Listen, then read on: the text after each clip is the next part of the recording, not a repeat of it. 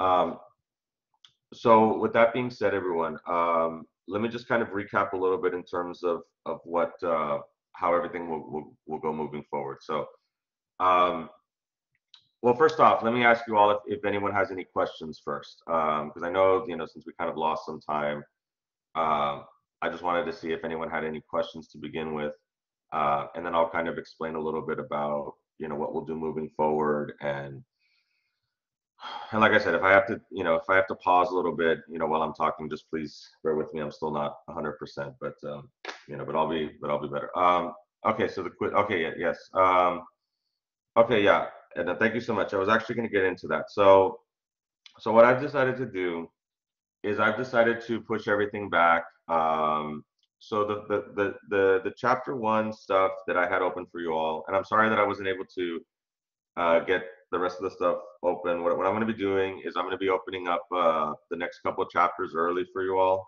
so that you all can you know work ahead if you all want to. Um, the chapter one stuff is not going to be due till next week. Um, you know, since we'll we'll talk about it a little bit, you know, and and and uh, and we'll discuss it a little bit today. Um, but yeah, so so the chapter one stuff won't be due till next Tuesday, uh, the 27th. Um, what I'm also gonna the test. Okay, all right. So so let me. So, okay, so good question, Nicholas. Okay, so so the test. All right, now the test is going to. There's going to be two options for the test. Um, you can either take it in person or you could also take it online. All right. So so I'll give you all the option. That, You know. So I like it. Um, so so I'll I'll have those two options for you all. So it's up to you all in terms of what you feel most comfortable doing. Um, it's going to be multiple choice. Yes. Um, I'm still in the process of making the test. Uh, so I, am thinking I'm probably going to do 50 questions, uh, two points each. Uh, that's probably what what I'm thinking of doing. Uh, maybe it might be a little bit longer, but we'll see. Um, I want I don't want to try to make the test too lengthy, but uh, but I'm, I'm I'm still in the process of of uh, of, of setting that up. What I'm also going to do is I'm also going to give you all a study guide for the first test. when would it be? Okay, I know. So the first test is going to be after we finish um, it's going to cover chapters one through four. So after we finish uh, going over chapter four, uh, that's when we'll have the first test. Okay, so so it's chapters one through four. Let me, let me type this up in the chat. Um,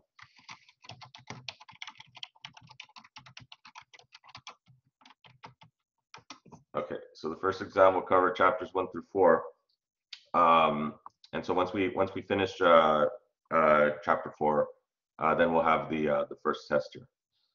Now, because we lost a little bit of time, we might have to double up a little bit later in the semester, but I mean, that's fine. We, we've got plenty of time to where if we have to maybe cover like, you know, like a couple chapters per week or whatever, that's fine. We can, we can go and do that. Um, but, uh, but we've got enough time. Uh, I don't, you know, the, we've got enough time to, to cover everything that we need to. We might just have to do it a little bit faster, but you know, it's fine. These things happen. I mean, um, I wasn't expecting to get sick, but you know, it happens, life happens. So, um, but yeah, the first test will be chapters one through four.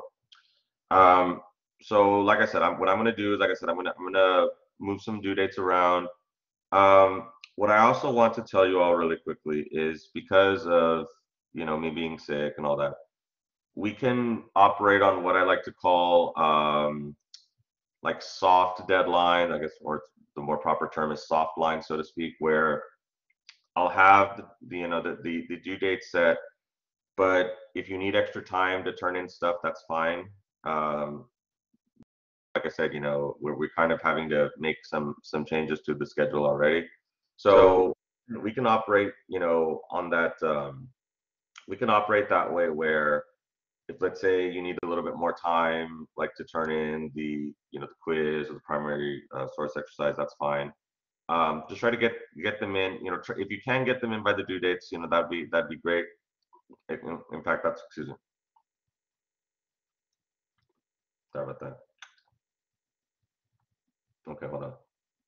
Very sorry about that. Um, so that that is what I would um, what I would definitely want for y'all to do if you can. But if you need a little bit more time, don't like don't panic. Don't feel like oh the sir's not going to accept late work. Like it's fine. Just uh, try to get everything in uh, when you know as quickly as you can. But if you need a little bit of extra time, that's fine. And of course, I'll, I'll let the other class know that as well.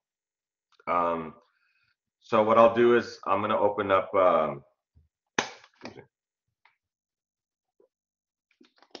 I'm going to open up um, some chapters early. Okay, so I'll be working on that uh, this week where I'm going to try to open up uh, the second chapter as well as the third chapter. So I'm going to try to open up these chapters early so that you all can already kind of get a head start if you all want to. I know that uh, you all had still been uh, working on trying to get your textbooks, so I guess it's kind of okay that if I was going to get sick, it would be good that it happened at the beginning of the semester when when everyone was still trying to get their textbooks. So I guess it kind of worked out as well. Um, you know, because I understand that that also might take a little bit of time as well. So, but yeah, so so so we'll do that. Um, Okay, so so other questions you all have. Um, I want to know if, if you all have any other questions. Um, and then uh, other questions. Uh, is there anything else that I can help you all with before we kind of, you know, discuss a little bit about uh, uh, chapter one here? Um, any other questions that I can help you all with, or does that kind of make sense? Or um, the quiz? Yes, yes. To do it's due on the 27th. Yes, it'll be due next uh, Tuesday. Yes, as well as the primary source exercise. Yes, yes. So. Um, and like I said, I will open up the the the next couple chapters, and, and we'll do that throughout the rest of the semester. I will open up the next couple chapters where if you all want to get a head start on that, um, you're more than welcome to do so. Um, you know, and like I said, so so for the for, so after we finish chapter four, that's when we'll have the um, uh, the first uh, exam here. So um, okay, I know someone else also asked a question about discussions. Just remember that the discussions are, we don't have weekly discussions, we have unit discussions, so there's just gonna be one discussion per, per unit. Um, so uh, be on the lookout for that. I'll let you all know when it's ready. Um, I'm still in the process of looking to see which one I'm gonna use, but but yeah, so there'll be there'll be uh, one unit discussion. Um, also keep in mind, we'll, we'll talk about this when when when when when it's unit discussion week. We'll, we'll I'll, I'll show you all uh, the discussion, and then we'll I'll walk you all through in terms of how to work on it. Uh, what are the um, the things I'm looking for? I mean, we kind of went over this on the first day, but um, you know, since I've been out, maybe we could use a little bit of a refresher. But um, but yes, I'll explain to you all in terms of like the uh, the word requirements, uh, what I'm looking for in terms of the responses. So I'll so I'll give you all some some good advice on on how to complete these, so that that way, um, you know, you'll be able to do well on them. Um, okay, any other questions? Any other questions? Are there any other questions I can help you out with? Okay, sounds good. All right, okay, very good. Okay, so so I know we've kind of been on chapter one for a while. Um, have you all had a chance to go through chapter one? Have you all had a chance to uh, kind of uh, read through it, um, kind of familiarize yourself with it? Have you all had a chance to? Um, um, hopefully, you all have uh, by this time, since we've spent a little bit too much time on it, but but uh, okay. So I just wanted to see, yeah. So so so what we'll do right now is we'll kind of go over like you know some of the key points that I want y'all to focus on in chapter one. Uh, you know we'll discuss it a bit here. Um, so let me go ahead and let me let me see if I can share my screen really quickly, uh, so that way we can. Um, uh, I always struggle with this because th this setup is, looks different than the other collaborate I use. So, but okay, hold on. So Okay, all right. Okay, so that's okay. So anyway, so so also just to reiterate, everyone. So um, so obviously, of course, uh, you know what we'll be doing with, within our, our class meetings is we'll be kind of you know uh, we'll be we'll be taking a look at the outline and we'll kind of be looking at you know some of the key points you know within the outline that I want you all to focus on. Um, for extra enrichment, of course, I also have um, you know as I mentioned before, you know I have you know the uh, the PowerPoints, the flashcards. There's also author videos as well as uh, some other lecture videos that I found that look really good, as well as uh, the crash course uh, history and crash course, you know, U.S. history and world history videos that uh, I'm going to be adding here as well. Um, so there's a lot of extra stuff that you all can look at, um, as well as additional resources that I'm still going to be adding uh, throughout the semester as well here. So there's a lot of good stuff there that, that I that I want to uh, populate within uh, Blackboard for you all, so that you all can kind of get a good sense of of you know, so you all can have everything that you all need in terms of uh, uh, progressing through our class here. Um, but yeah, anyway, so with that being said, um, so obviously, of course, you know, this chapter, of course, is the introductory chapter to uh, you know to U.S. history. Um, so we definitely got to start from the very beginning, right? And this and a lot of this stuff you probably already have seen before.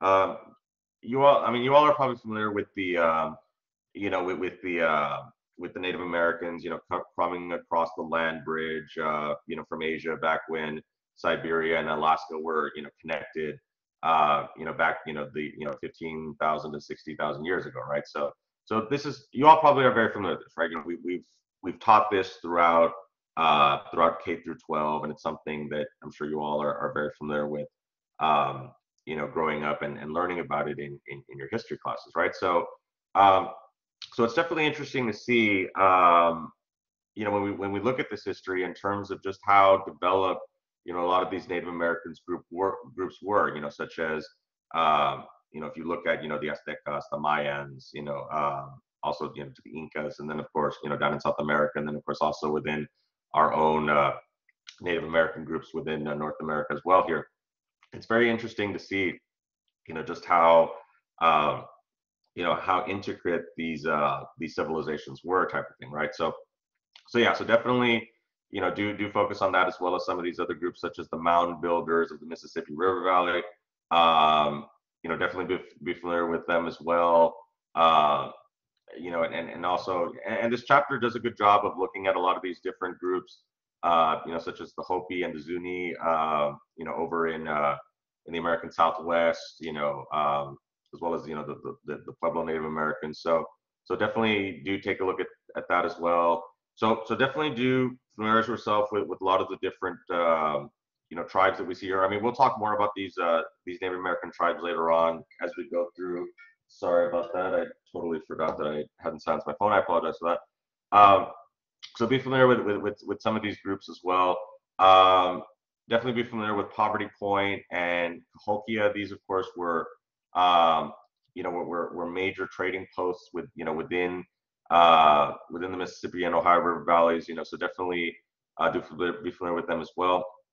Um, it goes more into detail in terms of how the Native Americans live. So this is also another key point that I definitely want you all to focus on is um, Native Americans are very unique when it comes to the different tribes, and and this is also something you probably are familiar with, right? That not every American Native American group is the same, right?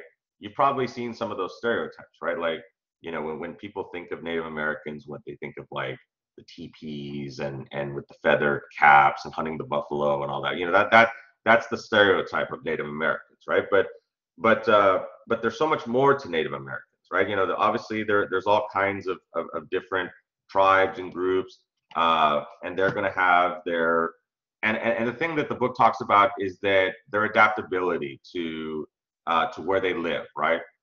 So of course, you know, uh, Indian tribes living in the eastern part of North America sustain themselves with diet of corn, squash, and beans, supplemented by fishing and hunting. So depending on where they live, that would determine what um, what resources they would, uh, you know, that they would be able to find and use those resources in order to sustain themselves, right? So obviously, of course, if you've got Native Americans living by the coast, they're going to obviously, of course, be drawn to the ocean and, and, and fish in the ocean and ultimately uh, use, you know, fishing for sustenance and all that. Um, and of course, not every area within North America um, has the same type of crops or the same types of, uh, of livestock available, right? Same type of animals. So they, they would definitely have to, to, to adapt here. And then of course, they also believed in uh, animism, right? The, um, you know, if you've seen like Pocahontas, right, you're probably familiar with you know the concept of you know the animals and and and the trees and the forest having spirits and and everything um you know having having uh you know you know these spirits and all that so so the native americans were very spiritual in terms of how they you know how how they uh how they treated the land how they viewed the land and and everything that you know the, the land itself was also uh you know, you know you know a living being as well and things like that so they were very spiritual in terms of how they they viewed the land. And we'll, and we'll talk about how this is this is different from how the Europeans viewed land, and Europeans viewed land more as a a uh, as as objects that you know that needed to be owned and and and and uh, and, and things like that. So so of course this was a very uh, difference in philosophy here, right? So so so the book again talks more about you know you know religion and how also that influenced their um, you know, you know their way of life. Um, the idea of, of owning private property, like like I just mentioned, was foreign to Native Americans. This was they believed more in communal resources and that you know instead of private ownership.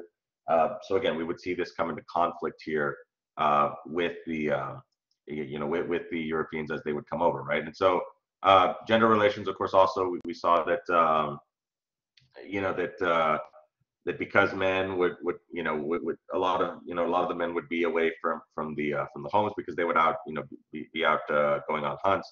Uh, women would maintain a lot of the administrative duties as well as you know household duties and agricultural duties of, of the tribe and things like that. Um, so again, so so the first so so the first part of this chapter, of course, obviously you know deals with uh, the Native Americans and the early relationships that the Europeans had with them, right? And so the Europeans, of course, viewed the Native Americans as um, they viewed the Native Americans, obviously, of course, you know, you're probably familiar with with with um, you know, if, you, have seen like movies and documentaries, right? The Europeans probably did not have a very. Um, let me just check the chat to see if there's anything. I just want to see if there's anything here in the chat here.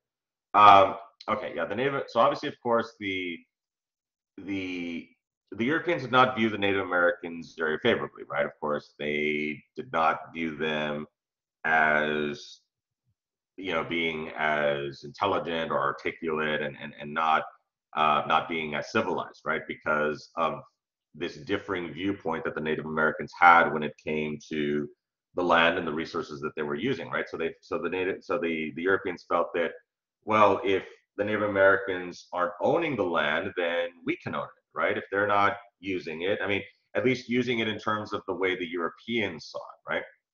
Yes, the Native Americans were using it, but they were using it in a more communal fashion as opposed to um, as opposed to the Europeans who, like I said, they they, they believed more in, in private ownership. So again, this was just uh, this was a difference of opinion here in terms of and difference of philosophy, difference of culture, um, and of course, obviously, the Europeans did not. Um, they didn't feel that the, the Native Americans had a genuine religion, right? They did not believe in this idea of an, animalism and things like that. They, of course, obviously, the Europeans were bringing Judeo-Christian, uh, you know, re, you know, religious viewpoints, and so this came into conflict with the Native Americans, right? Um, so again, some more philosophical differences. Uh, Europeans concluded that the notion of freedom was alien to Indian societies. Europeans concluded that uh, Indians were barbaric because they were too free. So again, the, the, the key one of the key things that I want y'all to note here is not necessarily that. I mean, all of this, of course, you know, we, we, we have to look at it from different perspectives, right? So obviously, of course, the Europeans have their own perspective in terms of how humans should live. And you also have to remember that at this time, religion is something that is very big in people's personal lives, you know, especially when it comes to the Europeans, right? The Europeans, um, very big on religion. Um, you know, we'll talk about the pilgrims, you know, uh, next week in terms of, you know, uh, their reasons for coming over, which were, were based on, on, uh, you know, on very deeply held religious beliefs. We'll talk about that. But yes, but do, do keep in mind that religion is something that's very big for the Europeans in terms of uh, driving their decisions and ultimately influencing their way of life. So if they come into contact with people who don't, not only don't have the same type of religion, but maybe don't believe, you know, the same way that they do, this is going to be something that's going to be causing a lot of philosophical and cultural problems here. And so we'll, we'll see how this uh, progresses uh, later on here, right? So, but anyway, so, and then we'll, of course, we'll talk about Christian liberty as well when we get to the Puritans. Um, Europeans believed that to embrace Christ was to provide freedom from sin. Christian liberty had no connection to later ideas of religious tolerance. So the book talks about how this idea of uh, Christian liberty is kind of different from what we might perceive as today, right? The idea, you know, more modern interpretations of liberty are that, you know, this idea of right to privacy, this idea of being free. Um, so Christian liberty felt freedom from sin, right? Not not freedom to do whatever you wanted, but freedom from temptation. And so, in order to be free from temptation, you had to adhere to the Christian faith. So it's kind of an interesting take on on liberty, so to speak, right? Um, so yeah, like I said, religion uh, permeated every aspect of people's lives. It, it really influenced people more. Uh, I'm not saying that religion isn't important today because it definitely is. There's still a lot of people that uh, are deeply devoted to their faith. I know I am as well. But the point that the book tries to make is that religion was not just confined to someone's personal life. You know, religion was was evident in in uh, in government. It was evident in the economy. It was evident everywhere, right? That that that pretty much every decision that was being made by people was made through a religious lens first. Like, you know, so so that's what I'm trying to say. Does that make sense? That that that religion was is um, every decision that was made, you know, through this lens of religion here, right? So, um, but yeah, anyway, it just it goes more into detail in terms of um, you know this idea of freedom and authority and how um, you know, and how, of course, it was influenced by religion. And of course, also under English law, women held very few rights and were submissive to their husbands because, again, uh, going back to, you know, the religious influence, right? You know, you know that this comes from, you know, doctrines that we see like in the Bible, uh, where women are supposed to be subservient to to men and all this. So, so there was a lot of a lot of this that was going on uh, because of the the interpretation, the religious interpretation that was going on, you know, and, and things like that. So, so of course we'll talk about this, how this, how this uh, progresses uh, later on here. Um, but yeah, anyway, so, so, so we'll talk more about this. We'll talk more about, uh, you know, Christian liberty. We'll talk a little bit more about it in the next chapter because the, the Puritans definitely do uh, subscribe to this, uh, this idea as well. So, okay, so then of course we get to the expansion of Europe. So also definitely do uh, really take a look at this in terms of of um, you know obviously of course the Europeans coming over and looking at the different groups. Um, so of course you know we had China, the Chinese admiral Zheng He led uh, uh, seven naval expeditions into the Indian Ocean between 1405 and 1433, even exploring East Africa on the sixth voyage. So so this is where we start to see. Um, excuse me, let me just take a sip of water really quickly.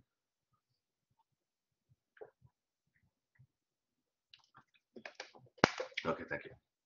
Okay, so this is where we start to see, um, you know, the Europeans already also start to uh, to engage in travel, um, engage in this uh, maritime travel. So, so we we start to see it with the Portuguese, right? Um, Africa was a wealthy continent, and the search for African gold drove the early explorers.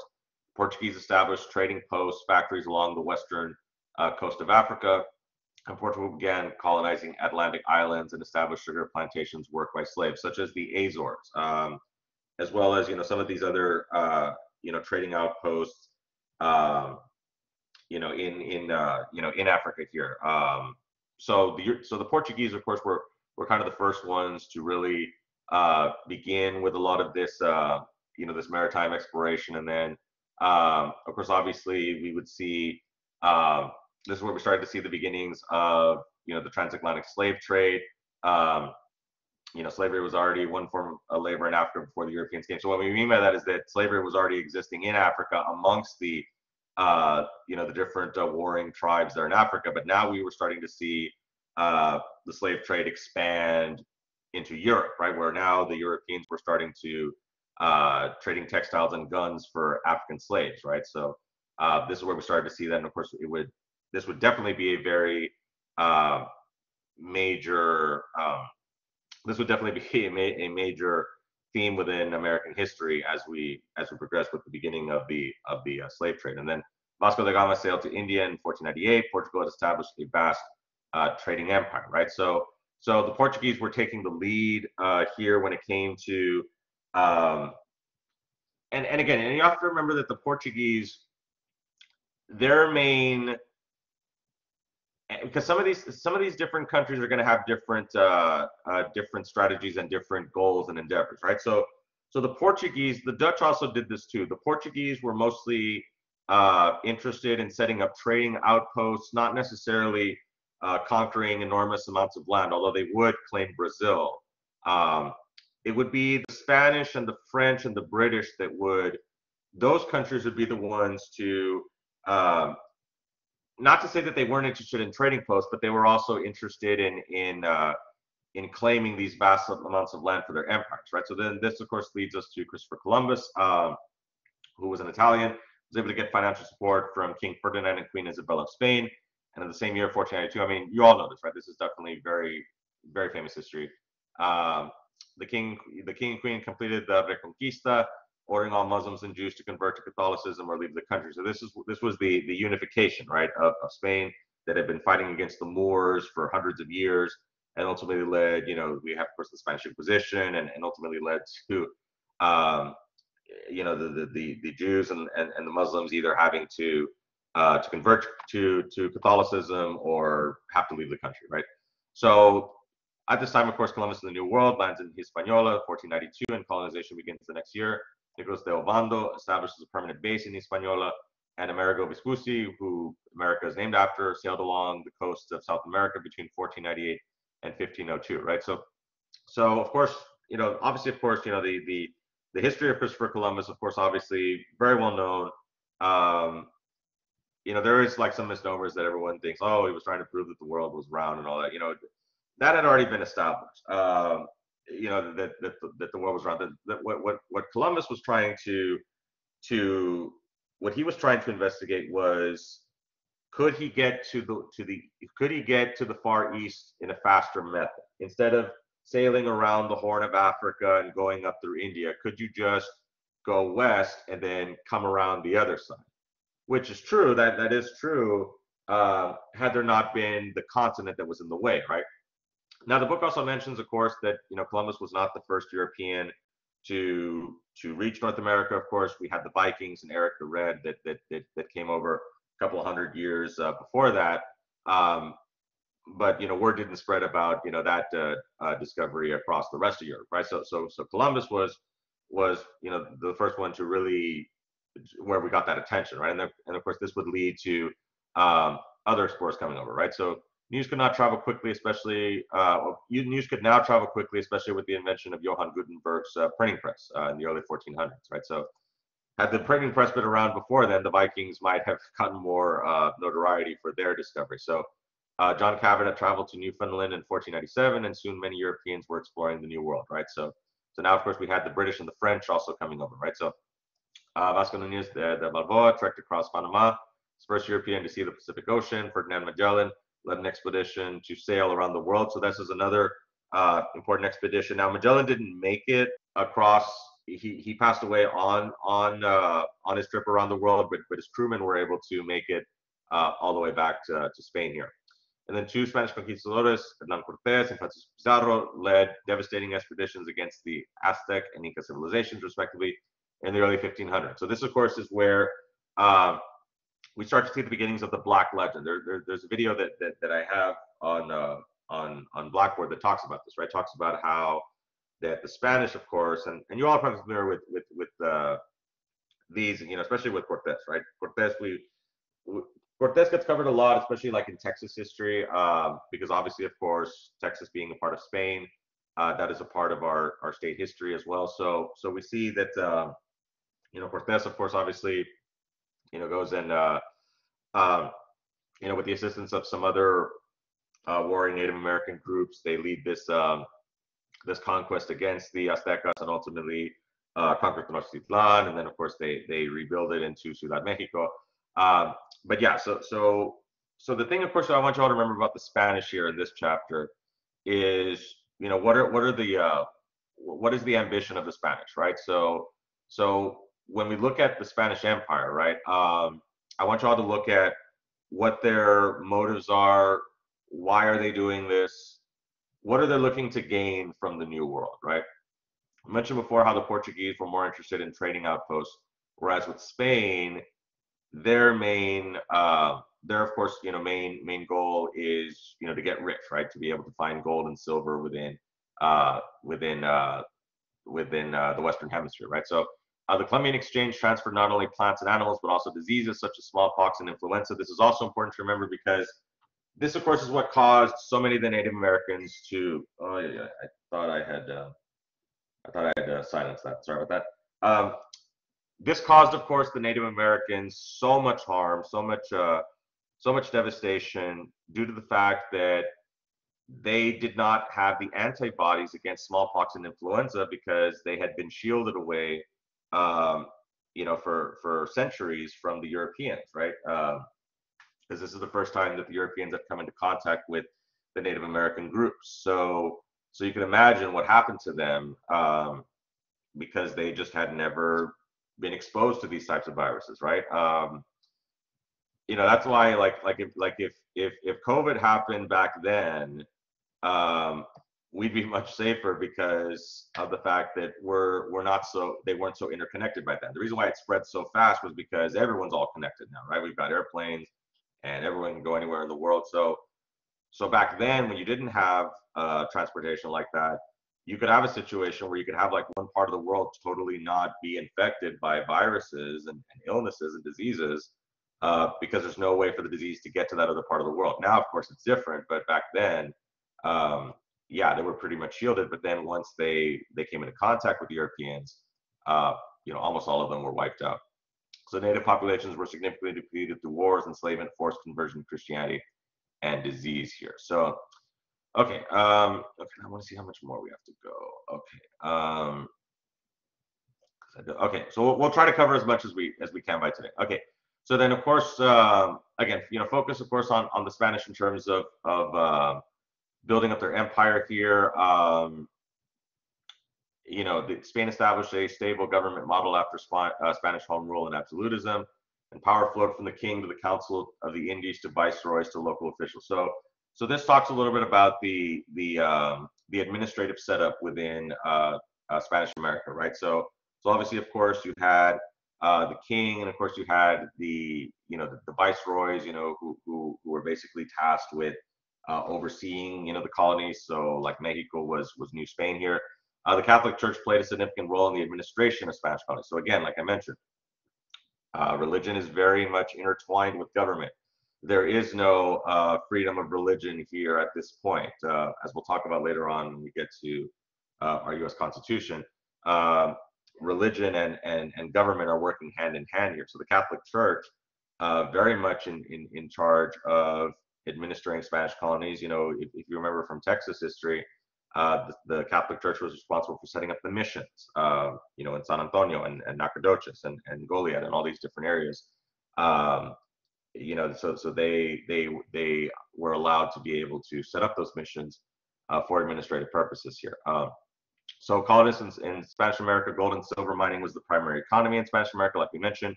Mines were worked by Indians, and many Spaniards came to the New World for easier uh, social mobility. Yes, yeah, so so so a lot of the Spanish that came over, they came over because it would be easier to be able to uh, move up within society in the New World. Uh, you know, kind of be able to you know get a fresh start a bit, um, and ultimately, you know, because it'd be much harder to move up the ranks in in, in the old world in Spain. Um, so this is what attracted a lot of people to come to to the New World. You know, a lot of these conquistadores, you know, that, that came, like we mentioned, uh, Cortés, Pizarro, Oñate was was another one. Uh, Jose de Escandon, who is is regarded as like the founder of South Texas, he also was one of these uh, these uh, conquistadores that came over and you know one of the one of the later ones and, and ultimately colonized uh, the area here along the Rio Grande on both sides of the Rio Grande. You know, with with communities such as Matamoros, um, you know, Reynosa, Roma, Laredo. Um, you know, Revilla was a, was a community that that uh, no longer exists, but it's where Zapata was uh, Zapata is today. So so a lot of these you know uh, different communities are very very old. Like I know Roma was you know founded in the you know uh, back in the uh, in the 1700s, right? So so just kind of give you a uh, a sense of you know how how old some of these communities are, right? They, they they're they're very very old. Um, okay, so anyway, so let's continue. colonists and the Indians, like we said. Um, Indian inhabitants always outnumbered European colonists and descendants in Spanish America. Uh, the Peninsulares were people of European birth. Uh, so again, this is kind of going a little bit into the hierarchy, right? The Peninsulares were the the the, the Peninsulares were the um, the people that were born that, that were going to be born in Spanish America, but their parents were of European descent, right? Uh, Spanish America. So so these were pure blooded, but they were but they were born there in in in, in the Western Hemisphere. Uh, Spanish America evolved in a hybrid culture, part Indian, part Spanish, and in places part African. Mestizos were persons of mixed Indian and Spanish origin, right? And so this is where we had the the intermixing of, of the different uh, different races and the different groups. Um, you know, and, and and of course this was this a large part in, in terms of you know forming the uh, you know the Hispanic community that we see even to this day, right, where people are of uh, mixed heritage, right. Um, so this is of course what, what where where we saw this uh, happening here in uh, in uh, in Latin America here. Um, justification for conquest to justify their claims to land that belonged to someone else. The Spanish relied on cultural superiority, missionary zeal, and violence. So this this leads us to the uh, the Black Legend. Uh, like I said, the Black Legend does talk about how how brutal the Spanish were in terms of how they they, they treated the Native Americans. Um, there was some uh, some pushback against this here. Um, uh, Bartolomé de, de, las Casas wrote about the injustices of Spanish rule towards Las Casas ins insisted that Indians were rational beings and Spain had no grounds to deprive them of uh, land or liberty, right? So, we, so believe that the entire human race is one, uh, favored uh, African slavery. So, yeah, so Bartolomé de las Casas, he is interesting, right? Because he was he was fine with, with African slavery, but he, he he felt that the Native Americans had to be uh, uh, treated with uh, respect here. So there's still, you know, it. What I'm trying to say is that there, there there's still that prejudice that we see, right? You know, and, and of course that that'll that'll still continue as we as we continue uh, with our discussion here within U.S. Uh, history here. Uh, missionary element existed from the church's long holy war against Islam and was renewed, renewed with the Protestant Reformation of the 16th century. So this, of course, talks about I mentioned I mentioned about the missions a little while ago, right? So uh, so the Spanish not only were their two main objectives within the New World was obviously, of course, to you know try to uh, you know mine as much silver and gold as possible, but also to convert the Native Americans. So they felt that this was a, a religious duty set forth by God to them, that God put it in their path to discover, and I say this in quotations, right, to discover this brand new continent with this this large group of people that have never heard of Jesus Christ, and the task before them is to convert them. So the Spanish looked at it as as a um, as a responsibility, right? As, as some as as an opportunity that was presented to them that that that God willed for them to, to locate this continent with these um, you know hundreds of thousands of people you know that that uh, that had never heard the word. And so now it was their responsibility to try to convert them right? And so uh, national glory and religious mission went hand in hand with the primary aim of the spaniards uh, being to transform the indians into obedient catholic uh, uh, subjects of the crown. Not only diseases uh, contributed to massive deaths but also brutal conditions of forced labor like we were talking about the the the, the black legend here Many Spanish colonists saw no uh, contradiction between serving God and enriching themselves and the souls to be saved, could also be a labor force in the gold and silver mines. So you can see that, that the Native Americans were clearly exploited here by the Spanish. And so when we're talking about, when I was mentioning a little while ago how brutal the Spanish were, this is an example right here. So the Spanish, of course, were extremely brutal to the Native Americans in terms of how they treated them not just uh, exploiting their natural resources, but also uh, making them basically give up their own natural resources, right? Working in the mines uh, to give up, to, you know, to mine the natural resources and to give those up to the Spanish, natural resources that belong to them. So to add insult to injury, not only are the Spanish stealing uh, their own natural resources, but they're the ones that are giving it to them. Does that kind of make sense? That that they're the ones that are that are mining it and having to hand it over to the Spanish so it was definitely, you know, hugely exploitative, uh, making the Spanish having to give up their religious faith because, again, as I mentioned, a lot of these Native American groups did uh, have their own religion, right? And so they had to give up their their religion. They had to give up their their native tongues. Uh, they had to give up everything, right? They had to give up, um, you know, they had they had to give up everything in terms of their identity, um, their cultural identity, their you know their economic uh, identity and things like that. So they had to they had to give up so much to you know to, to the Spanish uh, in terms of of what had uh, had happened here. So um, so again, so so let's kind of continue a little bit here. Let's see. Um, okay, look, I think we can we can finish off here with with with the the end of the Spanish. Okay, so then. Um, so reforming the empire, right? So Las Casas writings encouraged the 14, 1542 uh, new laws, which forbade Indian enslavement.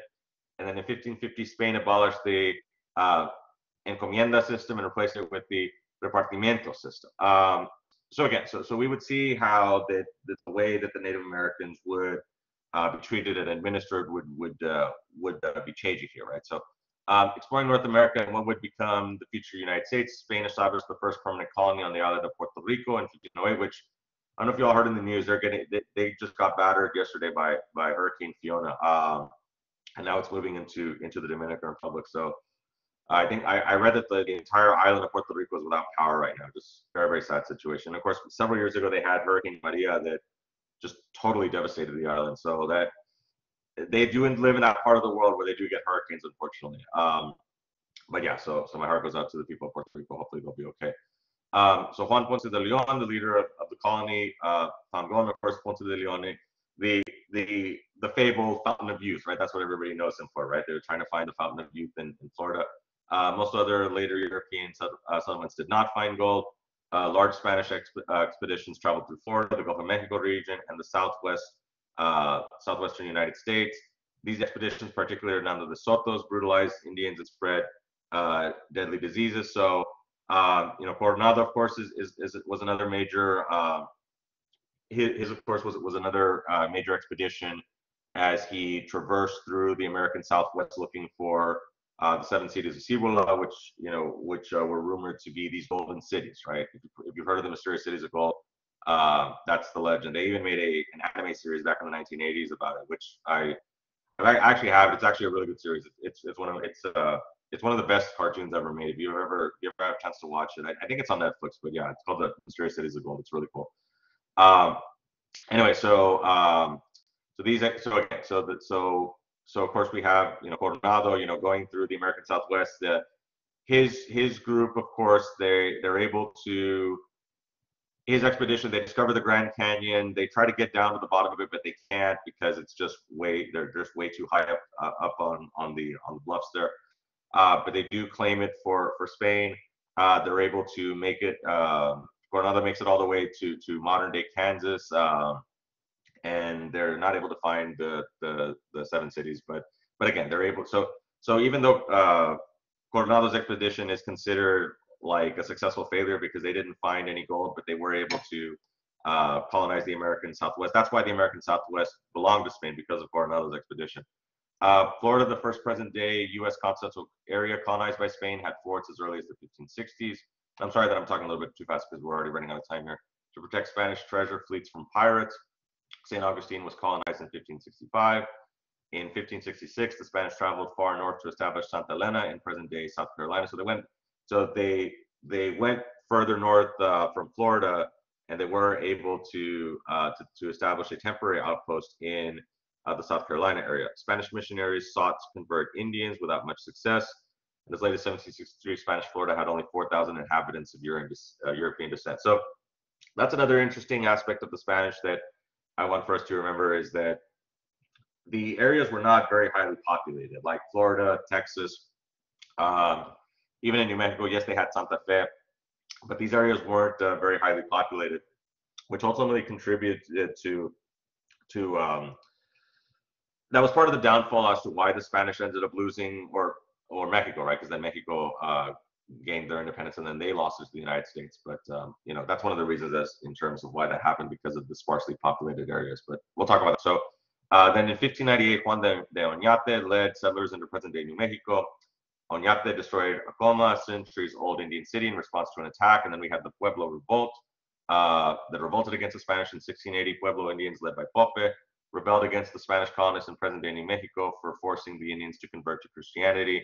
Uh, but then ultimately the Spanish would, uh, so the Spanish were, were driven out by the Pueblo uh, Native Americans, but then they would uh, they would return and reconquer them uh, several years later here. Um, okay, all right, so okay, so we'll stop here. That way, we just have a little bit more to go. We'll see if we can kind of talk about the the Dutch and the and and the French really quickly. So that that won't take too long, and then we'll we'll work on on the second chapter here. So. Um, okay, so then, so I hope that, that this was that this was okay in terms of what I kind of sorry about that what I want you all to focus on within uh, chapter one, like I said, we'll we'll uh, we'll go over the, the the French and the and the Dutch uh, a little bit later here. We'll we'll do that next week. So, um, but yeah, definitely do do focus on on all this here in terms of uh, what we kind of talked about here today. I know I kind of went over that really quickly. Um, but does anyone have any questions or comments or concerns uh, before we end for today?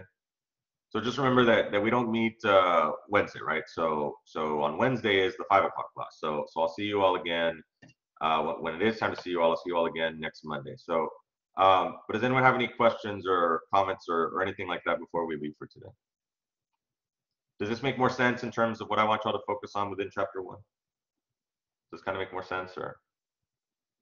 Okay, all right, does make sense. Okay, sounds good. Okay, everyone. All right, okay, sounds good. Okay, well then I guess we, okay, if, if there's no other questions, then, uh, like I said, um, I'll open up the, the next chapters, uh, for you all a little bit earlier. So that way you all can work ahead if you'd like to. Um, I'll add those resources for you all as well. So that way, um, uh, you all can get a head start. And then, like I said, I'm very sorry that we kind of, uh, I am very sorry that we, we, we, we lost some time here, but, but we'll, we'll, we'll pick it up, uh, later on, uh, throughout the semester. So, Okay, everyone. Well, thank you so much. Take care. Be safe. And uh, we're going to end for today. You all take care and uh, see you all uh, next week. Okay. Um, you all are welcome to stop by on the Wednesday meeting if you all like to. That, that's another thing also is that you all can you all can pick and choose, right? You all you all can you all can do that if you all would like to. You don't have to, but but you all can do that if you all like to. So okay. So we'll go to an end for today. Thank you all. Take care. Be safe and uh, have a good rest of your day, everybody. Thank you all so much.